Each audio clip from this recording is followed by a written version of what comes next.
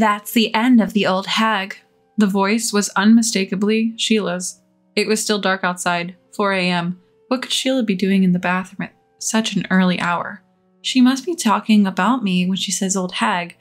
Terrified, I quickly returned to bed. It was a good thing I woke up just then. Otherwise, I would have fallen into Sheila's trap. I never thought Sheila would go that far. I think realizing her plan was where her luck ran out. I'm Amelia Weston, 65 years old. I live a peaceful life with my husband Randy, who retired last year. Technically, our 32 year old son, Michael, also lives with us, but he seems busy with work and play.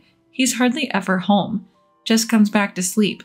It's worrisome that he hasn't experienced doing household chores even in his 30s, so I've suggested he move out on his own a few times, but he refused, saying, Why? I only sleep here. It's a waste to pay rent. Michael, always out having fun. You were so much more responsible at his age. I complained to Randy, who just chuckled. Well, having many friends is a good thing. I suppose, but with this pace, marriage seems far off for him. Randy agreed, and we both laughed. However, by the end of that year, Michael introduced us to a woman saying he wanted to marry her. If he's made up his mind, we wouldn't object. After meeting her, the two quickly got married. She, Sheila, is 10 years younger than Michael, only 22. I was shocked by her age when Michael told us. At first, I thought she looked like a small animal short stature, big eyes, and quite adorable. More importantly, the love she showed while talking to Michael was evident. It seemed like she was the one pushing for the marriage. Michael is so lucky to be loved so much by Sheila. Our son being deeply loved by his partner is the best thing for a parent. I meant it in a good way, but Sheila glared at me.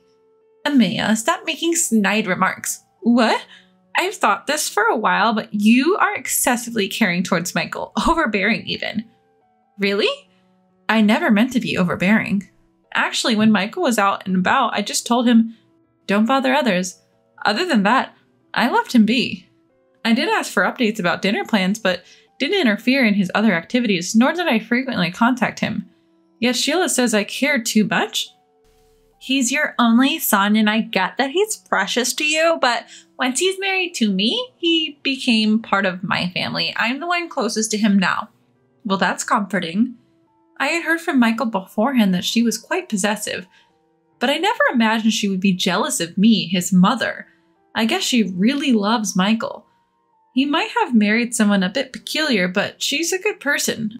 I reassured myself, thinking, They're newlyweds, they'll settle down in time. Randy and I even laughed it off, thinking it was sweet. However, even after a year, then two, Sheila never let her guard down. At dinner, she always sat next to Michael, and she never left his side, not even for a second when they were out. It must be hard for Michael. I wonder what will happen when they have kids. Randy and I were genuinely concerned. Three years after Michael and Sheila got married, Randy passed away. He went so suddenly, even in his 60s. It was incredibly lonely, but friends and neighbors often checked in on me. Thanks to them, I recovered faster than I expected. Concerned about me living alone in the big house, Michael started visiting more often. But it was only about three times a year. I don't think that's too often. But someone wasn't amused by this. Sheila. I get that you're lonely since Randy's gone, but don't drag us into it. I never once asked him to come. It's great when he visits, but I've never forced him. I told Sheila just that. What? Stop playing the victim, acting all lonely on purpose. Aren't you ashamed to be so dependent on your son at your age? Dependent? And don't you even think about moving in with us. You'll disrupt our newlywed life. I couldn't keep quiet after hearing this. When Sheila went to take a shower, I called Michael aside. Could you please talk to Sheila? It hurts to always be painted as the bad guy. The bad guy?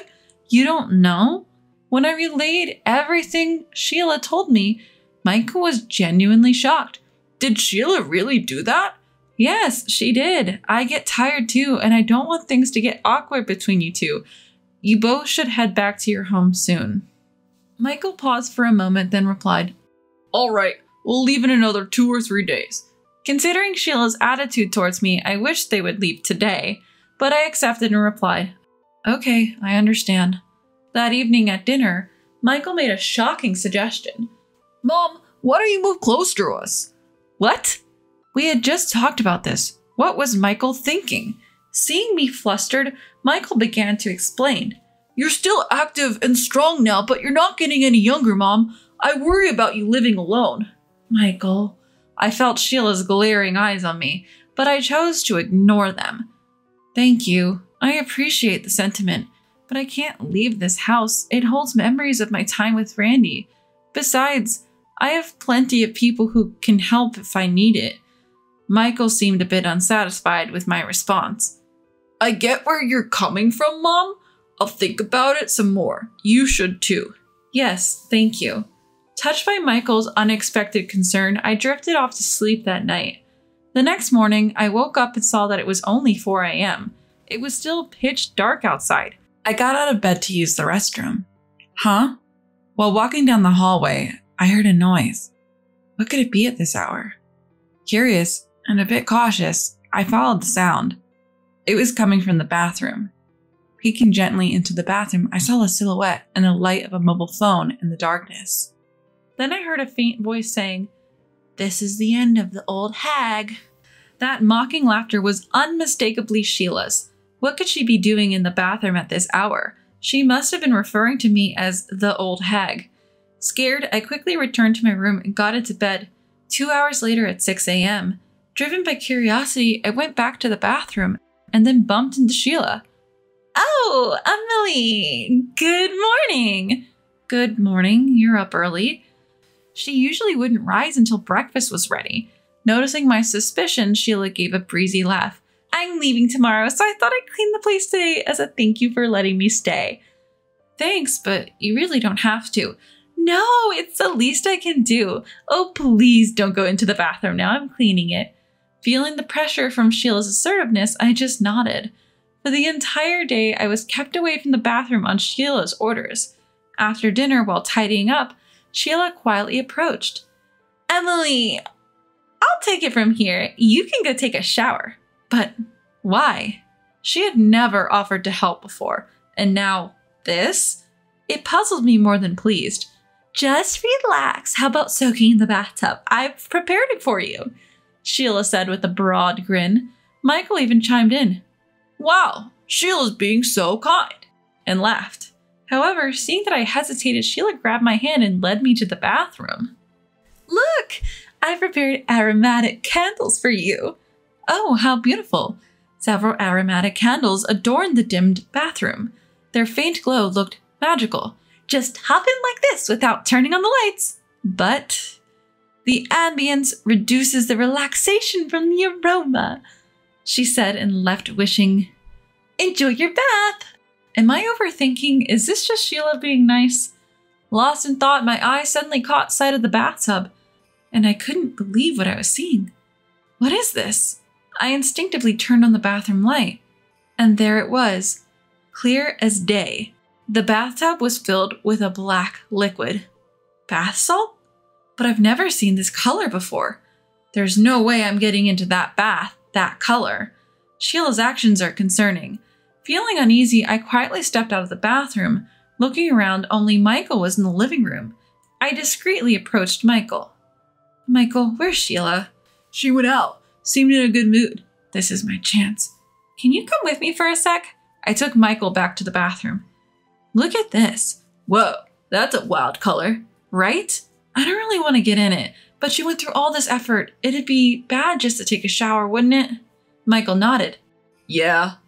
Then I'll go first. Wait, what? It's probably just bath salt, but with this color, it's hard to get in. If I prove it doesn't stain the skin, you'll feel relieved, right, Mom? I gratefully accepted Michael's offer. When I went back to the kitchen alone, the dishes were still piled in the sink. I wonder where Sheila went. As I was rolling up my sleeves to wash the dishes, I heard a noise from the entrance. Sheila, who had just returned home, saw me and exclaimed, Emily, why aren't you in the bath? Well, Michael said he wanted to go first. As we spoke, a shout came from the bathroom. Sheila rushed into the bathroom with a panicked expression. I followed right behind her. Michael, are you okay? As Sheila flung open the bathroom door, Michael was there, rinsing him off with the shower. Sheila, what is this? It smells so bad. Um, it's, uh, oh, come on, just close the door. We'll talk when I'm out. After being scolded by Michael, Sheila closed the door with a downtrodden look. So, what was that all about? After finishing his shower, Michael confronted Sheila. Well, it's not exactly. It's not a bath salt, is it? That thing smelled terrible. I feel like the smell is still there. I'm I'm sorry. So, what's with the black stuff? Sheila, with a pale face, didn't answer and looked down. Sheila! Upon hearing her name, Sheila shuddered. She hesitantly replied, It's squid ink. What? That black stuff, it's squid ink. Both Michael and I exchanged surprised looks. Sheila, why would you use squid ink? I thought it might be healthy, Sheila said, avoiding our eyes. Michael glared at Sheila. Then you try getting in now. I'd rather not. Sheila's words from this morning echo in my head. A suspicion suddenly arises within me. Could it be because I mentioned I'm allergic to squid? Sheila froze at my words. It seems I was right on the mark. Come to think of it, I told Sheila about my squid allergy in our casual chat the day before yesterday. Knowing my allergy, Sheila prepared a bathtub filled with squid ink. My head ached at the thought of such a bizarre idea. What's the deal with that? Is this some sort of cruel joke? It's not what you think. I just wanted to help Amelia relax. Sheila buried her face in her hands and began to cry. Is she thinking that crying will solve this? But I won't let it slide. So, this was the old hag thing you were talking about? What are you talking about? Wait, Amelia. Sheila tried to stop me, her tears pausing, but I continued on. I heard what you said in the bathroom around four this morning. You were awake, Amelia? Sheila's eyes widened, her hand flying to her mouth. This is clear act of malice after all. But Michael always favors you. He's always worried about you. I was just so jealous. Sheila tried to deflect with a barrage of excuses. Basically, she was just jealous as always. Michael sighed heavily, rubbing his forehead. I was skeptical when I heard from Mom, but it seems her story was true. What? Sheila stared at us, her face pale. What did you tell Michael, Amelia? I was dumbfounded by her audacity. Blaming me after what she's done? How foolish can she be? I'm sure Michael felt the same, looking at Sheila with disbelief. That's enough. You've never been one to reflect on your actions. I'm done. Michael! I smile spread across Sheila's face, perhaps thinking she was forgiven. But in the next moment, Michael's words shattered that. Let's get a divorce. What? Sheila stood still, a frozen smile on her face. Wait, Michael, why? How did it come to this? This doesn't make any sense. It makes perfect sense. You tried to hurt mom. Do you even understand what you've done? Sheila paused for a moment but soon spoke up. But in the end, Amelia didn't go in. It was just an attempt, so I'm innocent. Michael shook his head at Sheila's protest. Do you really think it's that simple? It was only an attempt because mom noticed, and I hate people who scheme behind the scenes. That's cruel. Sheila rushed over to Michael and clutched at his shirt, but he quickly pushed her away. So you're choosing Amelia over me? I wish she'd stop playing the victim. Seeing Michael not responding, clearly annoyed, I spoke up. I can't stand to watch this, Sheila. Sheila glared sharply at me. Did Michael ever compare us? Did he even ever belittle me in comparison to you in cooking or household chores? Well, no. At least from Michael, I've only ever heard good things about you. He must have truly cared for you. Sheila glanced at Michael, who nodded without looking up. Yes, I never once saw you as a replacement for mom, and I never compared. I genuinely liked you, Sheila. But then. But it's over now. Trying to hurt mom with lies, it's just malicious. It could have been disastrous, Michael said with finality. Sheila's face turned bright red as she trembled with anger. How could you both accuse me like this? It's unfair. It seemed like talking to her was pointless. We decided to call Sheila's parents and ask them to come and pick her up. When they arrived, she was still yelling, This isn't over!